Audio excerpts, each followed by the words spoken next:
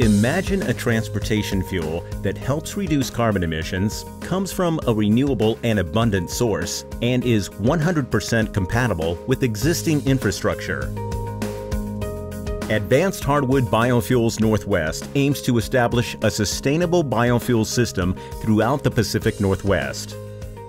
To ensure the sustainability of the system, researchers use a life cycle assessment a cradle to grave appraisal tool that models environmental impacts over the entire life of a product. An LCA provides data on resource consumption and emissions at every stage and identifies areas where impacts can be reduced. The LCA for the production of jet fuel from poplar trees shows where greenhouse gases, expressed as carbon dioxide equivalents, are stored and emitted during the life cycle of the biofuel. To begin, the LCA boundary is defined since it must encompass all necessary processes and products. This includes feedstock production, conversion and refining of the fuel, as well as distribution and end use. As poplar trees grow, they remove a significant amount of carbon dioxide from the atmosphere, storing carbon in their stems, branches, and roots. The process continues even after harvesting of the trees as they resprout from cut stems.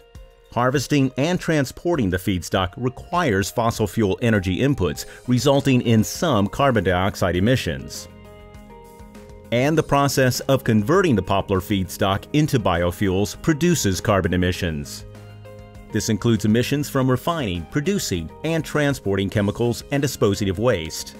Conversion also requires additional energy inputs from fossil fuels such as natural gas for heat and steam in the biorefinery. The LCA identifies this as a large contributor of greenhouse gas emissions that can be significantly reduced by burning residual biomass instead of natural gas. Finally, the distribution of biojet fuels around the Pacific Northwest and their use by the aviation industry also adds to the fuel's net carbon emissions.